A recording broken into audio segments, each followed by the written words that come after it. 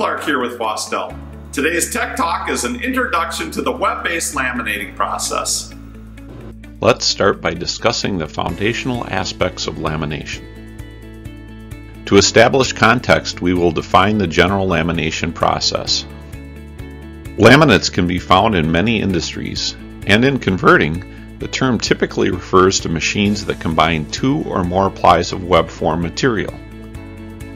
The main purpose of constructing a laminate is to optimize physical properties such as tensile strength or wear resistance, along with the barrier properties of the structure such as reduced moisture transmission rates.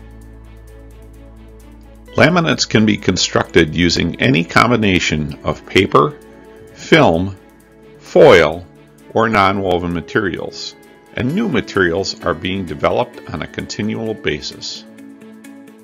In general, laminating is defined in one of three ways. Wet bond, dry bond, and thermal. We will cover these in detail in a separate Tech Talk video.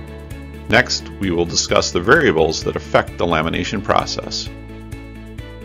The most common laminating technique involves bringing two webs in close contact with one another using a nip, which is created using a chrome-plated steel roll and a rubber-covered steel roll. Receptivity to bonding is determined by the presence of some adhesion-promoting element. This may be as simple as first exposing the surface to corona treatment, or as complex as one or more chemical pretreatments, followed by the application of a cross-linking adhesive.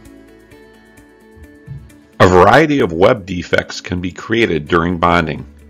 These include inadequate bond strength, poor clarity such as bubbles or haziness, curl, wrinkles, and tunneling.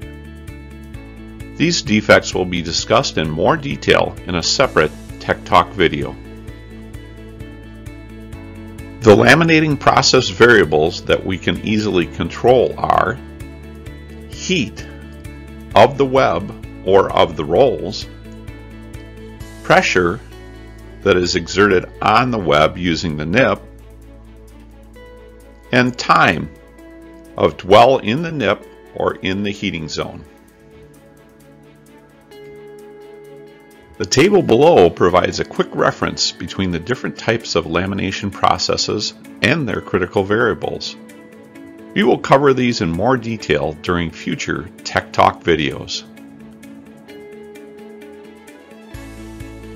If you have a laminating project or other process that needs assistance, please consider the Faustel Technology Center as your resource for all things web converting. Thank you for joining me. Please contact us so we can help with your equipment needs and see you again soon with another Faustel Tech Talk.